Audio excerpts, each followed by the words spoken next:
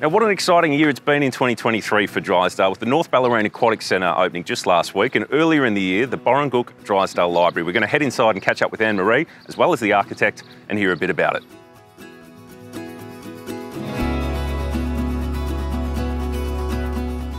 Anne Marie, thanks so much for joining us on an episode of Bellarine Life. Uh, about six or so months in, how's the community response been? The community response has been really positive. Yep. Um, we've had a lot of people through our doors, a lot of people really excited that something so big and beautiful has come to Drysdale. Yeah. We've got uh, two floors. So the top floor is for our adult collection and our bottom floor is a children's floor. But Yep. in that space we also have a large meeting room that can seat up to 60 people. Yep.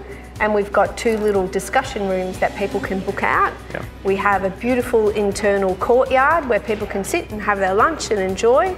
And we have a lot of little quiet little spots around the library that people can sit and enjoy. Fantastic. And we've got some, this is probably not something that's going to go on the thing, but we have public toilets, which we never had, so that's very exciting. Very flash too. A, uh, lots of free programs and things that the community can get involved in. Tell us a bit about those. Yep, so we have regular programs every week where we've got baby time, story time, and toddler time once a week. We also have some after school children's programs. Yep. We have a lot of adult programs, so we have tech drop in, Yeah. we've got booker librarians, we've got author talks, and we've got two book clubs that run out of the library, and we also have book chat sessions, we've Yep. got craft sessions, board game sessions, and it's all for free. Now, obviously, it's a, it's a brilliant community facility, but what some people may not know, it's also a, a hub for the City of Greater Geelong Council. Yes, so people can come into the council, talk to somebody, and they can also pay their rates, Yep. do their dog rego, and ask all of the questions that they need to from the city council. Nice. Tip vouchers, can we get those here? Yes. I've always, always got clients asking about those when they're putting their homes on the market.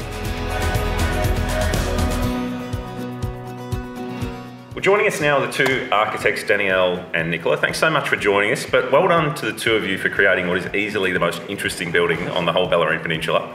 I would love to hear a bit more about the design process, the influences, those kinds of things. Yeah, sure. So we're um, two practices collaborating on this uh, wonderful building, which has recently opened. I'm Danielle Peck, uh, Director of Architecture Associates. I'm Nicola Garrett, one of the directors of Antarctica Architects, and worked on this also with the other director, Graham Crist. Now, standing here in this beautiful open air courtyard, I believe there's over 4,000 plants on the roof. Tell me about the influence behind the design.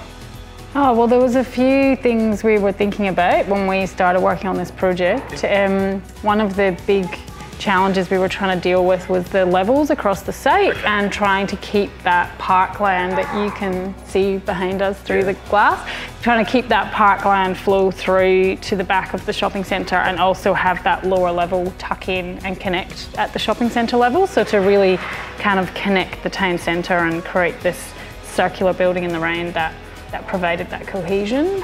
Yeah, absolutely. And probably another important factor is the circular form was part of an understanding and a conversation with both the Wadawurrung community, um, but also um, other residents of the community uh, that the Bellarine is a water terrain. Yep. So the, the circular building is, um, I suppose, represents a, a, a water hole, Yep. a gathering spot, um, and the plants growing out of that. And obviously, today it's now a community facility, and I think the few times I've been in here, in equal measure, there's probably people here to borrow books and use computers, but I think there's a lot of people here just to see the building inside and out. It, it's such a great space downstairs with the, the kind of family zone, and then up top is probably a more conventional library setup, and then out the back, pavilion style. It's created just a really good use of this central space in Drysdale, I think.